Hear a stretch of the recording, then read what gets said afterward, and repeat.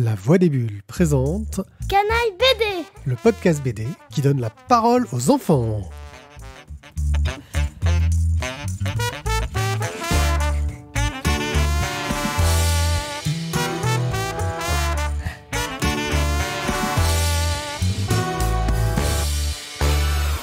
Coucou les gens, je suis Pied, Et moi, Morgane, j'ai 45 ans. J'ai 11 ans, et aujourd'hui on va vous parler de tout jeune. une bande dessinée de Hélène Kanak qui est parue aux éditions Jungle. Alors Morgane, de quoi est-ce que ça parle que tout jaune? Alors, euh, c'est euh, des deux enfants qui euh, veulent retrouver le soleil. Du coup, ils vont partir à l'aventure pour le trouver. Pourquoi le soleil a disparu? Oui, le soleil a disparu. Donc c'est dans un monde un peu futuriste où il y a eu un drame du soleil qui a disparu. Oui. Ils partent à l'aventure pour le retrouver, d'accord? Et donc ils vont vivre plein de, de, de- de choses D'aventures Et terribles. de mésaventures et euh, Voilà. voilà. Euh, c'est une histoire finie? Ben, je pense qu'il pourrait faire une suite, mais théoriquement, oui. L'histoire euh, s'arrête et donc là, du début à la fin du livre, on va les voir partir rechercher le soleil et on va savoir s'ils y arrivent ou s'ils n'y arrivent pas. Oui. Mais ça, on garde ça pour une partie spoiler après le générique de fin. Oui. Hein, pour raconter un peu toute la fin. Oui. Euh, et ben on va essayer de vous mettre tout de suite dans l'ambiance en, vous lisant l'extrait. Accélère un peu et passe-moi les fleurs qu'on les mette à sécher. Qu'est-ce que tu fais? Je goûte le produit. Mais concentre-toi, s'il te plaît. Euh, les graines ont l'air plus petites que celles de l'année dernière. Attention, Cécile Cette année est une catastrophe. On en a assez pour manger? Il faudra faire plus attention et ne pas gâcher. J'aurais pas dû manger les graines qui étaient par terre tout à l'heure. Mais si, les enfants n'ont pas à se préoccuper de ça. C'est vrai qu'on a moins de caisses. On a beau avoir un peu plus de luminosité sur la colline, ce n'est pas suffisant. Même si le tournesol n'est pas une plante très exigeante, les récoltes diminuent, les abeilles sont quasiment absentes et on a dû polliniser à la main. La situation ne s'arrange pas. Le soleil revient pas, il va falloir trouver une solution. Qu'est- Qu'est-ce qui se passe? Un gros, un gros là, là-bas, derrière Alors là, c'est un peu l'introduction. Ils sont en train de ramasser les graines et il y a quelque chose qui sort. Euh, on va dire ce que c'est. Hein. Qu'est-ce qui sort? C'est un rat qui a une maladie. On ne sait pas, mais ils décrivent comme la peste ou la rage. Ouais, c'est une sorte de maladie bizarre. Ils en ont tous très peur de la voir. Euh, et ça vient bah, des, des problèmes qu'il y a eu dans les grandes villes. Parce que c'est ça, hein, il y a eu euh, de grands problèmes dans les grandes villes. C'est pour ça qu'ils vivent un petit peu à l'écart des grandes villes qui sont devenues très dangereuses. Oui, Sauf que pour aller trouver le soleil, ils vont un peu peut-être se rapprocher des, Des grandes des villes. grandes villes et donc vivre plein de dangers et rencontrer plein de rats et d'autres créatures plus ou moins gentilles. Hmm Oui. ouais. on le verra dans la partie spoiler. Ouais, ils rencontrent une créature sympa quand même. Oui. Voilà. Même s'ils en ont très peu. ouais. Euh, Qu'est-ce que tu as pensé du dessin, Morgan Ben, J'ai beaucoup aimé les dessins. Ils sont euh, caricaturistes et... euh, Caricaturiste. Oui. C'est-à-dire que c'est des dessins qui font des caricatures, qui dessinent des caricatures. Non, Ils sont caricaturaux, tu vas dire. oui, Oui, il est compliqué comme mot. c'est vrai. Et bah, j'aime beaucoup parce que je trouve les dessins, ça parle d'un sujet quand même assez dur, mais c'est mignon. Les Ouais. dessins sont mignons. Ouais. Au niveau des couleurs, les couleurs, euh, bah, c'est fade. Genre, c'est très fade, c'est gris, c'est pas des couleurs dont tu aurais envie de voir tous les jours. À la maison, c'est plus coloré. ouais, quand ils sont dans leur maison, c'est un peu plus chaleureux, forcément, ouais. Et euh, voilà. Et voilà. Et quand on nous montre le moment où il y avait le soleil, etc., là, d'un coup, bah, Il y a des couleurs partout, des abeilles, des fleurs et tout. super lumineux. Et l'histoire, tu as trouvé qu'elle était menée comment? Justement, Euh. donc là, on a une histoire classique de d'enfants qui partent de la maison pour aller vivre une aventure et mener une quête pour trouver une solution. Comment est-ce qu'elle a mené ce- cette quête vis-à-vis des mésaventures, des rencontres et de ce qui leur arrive? Euh, bah, ils vont aller dans la grande ville et euh, genre l'aventure. Ils partent chez eux pour retrouver le soleil. Et bah voilà. C'est quoi les thématiques de cette bande dessinée? Ah, la pollution, c'est la pollution. Ouais, c'est très. Comment. Enfin, on a bien compris, hein, le monde est devenu horrible à cause de la pollution, en fait. Oui. D'accord.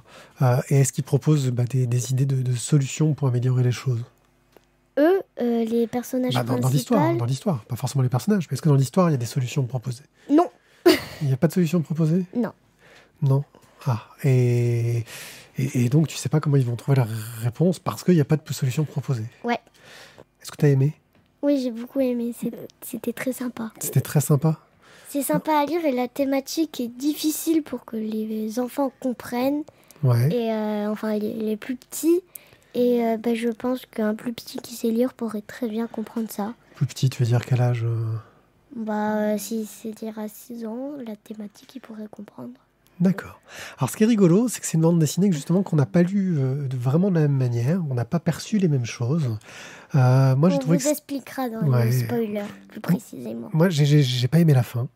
La fin m'a pas plu. Je l'ai trouvé pas. Alors que toi, tu l'as beaucoup aimé, tu as trouvé qu'elle était très bien. Mais tu as eu une, une façon de, de- de lire la fin très différente euh, de moi. Oui. Donc, ça va falloir qu'on en discute. On va faire un point sur le- la fin juste après ce générique de fin. Oui. euh, au niveau du. qui, qui va aller très, très spoiler. Donc, euh, on vous a parlé de Tout jaune de Hélène Kanak aux éditions Jungle, un, un bouquin que tu recommanderais vraiment pour tout le monde, toi. Oui, tout le Si monde. on... Est-ce qu'il faut s'intéresser un peu au côté euh, écologie, etc., pour l'apprécier, ou est-ce que tu penses que même si on s'y intéresse pas, il est intéressant? Bah, ça peut faire un livre de sensibilisation Ouais. pour ceux qui s'y intéressent pas trop. Et même si on s'y intéresse pas trop, ça peut faire un bon livre. Ou parce qu'il y a de l'aventure et de l'action, Oui. ouais, et un peu d'humour et tout ça. Eh bien, d'accord. Bah, merci de nous avoir écoutés. On se retrouve juste après le générique pour ceux qui veulent être spoilés euh, vis-à-vis de la fin, où on vous racontera un peu tous les mystères et tous les secrets autour de tout ça.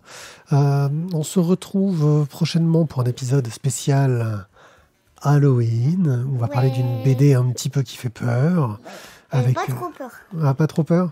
Non, elle fait pas peur. Avec des, des, des, des, des- des monstres quand même, un peu des monstres. Oui, mais ils font pas peur, les monstres. Eh bien, merci encore de nous avoir écoutés. N'hésitez pas à aller sur le site lavoidesbulles.fr pour avoir toutes les infos euh, autour de nos émissions. Vous pouvez aussi nous écouter sur notre chaîne YouTube, La Voix des Bulles. Euh, et on se retrouve donc très bientôt pour une nouvelle émission. Et juste après le générique, si vraiment vous n'avez pas peur de comprendre tout ce qu'on a à dire sur la fin de cette fantastique BD qui est tout jaune. Ciao, ciao Ciao, ciao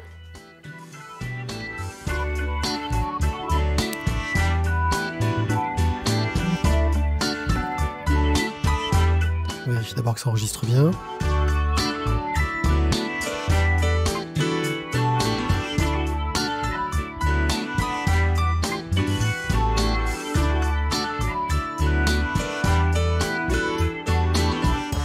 Voix des bulles présente. Et t'as raté parce que tu avais appuyé sur le bouton mais t'as oublié de parler. On recommence.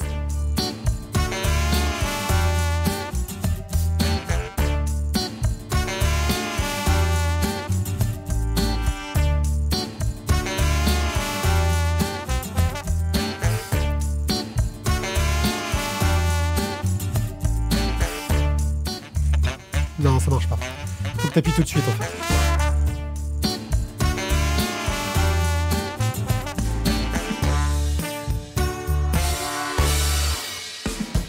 Oh, qu'est-ce qu'il est long ce générique. Ouais, Ouais, hein. Ouais. peut-être parce que bah, d'habitude je mets du bêtisier pendant le générique. Là, je sais pas si j'aurai grand chose parce qu'on n'a pas dit trop de bêtises. On devient vraiment professionnel. Bah si, les bip de ton ordinateur, c'était ouais, ouais, ouais, mais je crois que les bibis de mon ordinateur, malheureusement, ils vont être dans l'enregistrement. drôle. Ouais. On n'y peut rien. Alors, euh, la fin. Qu'est-ce que toi tu as compris de la fin sur la solution qu'ils ont pour euh, s'en sortir? Et ben, euh, ils prennent un peu le soleil comme dieu dans l'histoire. Et il y a Victor, le petit, il ramasse une fleur. Et euh, la grande île, c'est un endroit où ben, il y a tous des déchets et tout et tout. Et il y a un endroit où il peut la planter. Il va décider de planter la fleur dans la grande ville. Et le soleil, et ben, pour moi, il était triste, il n'était pas content de ce que les humains ont fait de, de la planète. Du coup, il avait arrêté les éclats. Alors moi, c'est rigolo parce que là, tu as une lecture, ce que j'appelle une lecture poétique, tu vois. Tu, as vu quelque chose de poétique dans ce livre, alors que moi, j'ai pas eu du tout une lecture poétique. J'ai une lecture très terre à terre, très dans la réalité.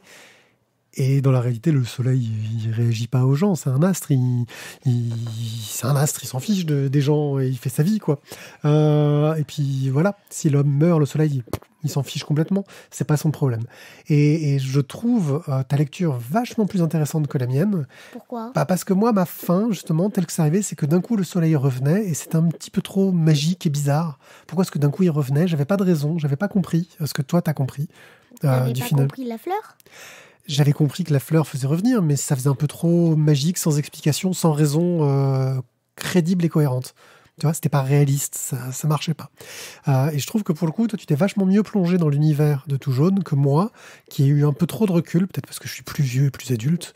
Euh, et c'est pour ça que souvent, il y a des livres ou des bandes dessinées ou des dessins animés qu'on voit pas de la même façon quand on est enfant que quand on est adulte. C'est pas une raison, ma tati, elle, a elle est encore beaucoup enfant dans sa tête. Ouais. Bah ouais, elle aime beaucoup la magie, ma tati. C'est vrai. Bon, ben voilà, c'est tout ce qu'on avait à dire sur Tout Jaune. En tout cas, merci de m'avoir fait voir ce point de vue euh, auquel j'avais pas pensé sur le final. Euh, C'était très intéressant et on verra euh, ce que ça peut donner. On se retrouve donc le mois prochain pour un spécial Halloween. Sato Haha. Sato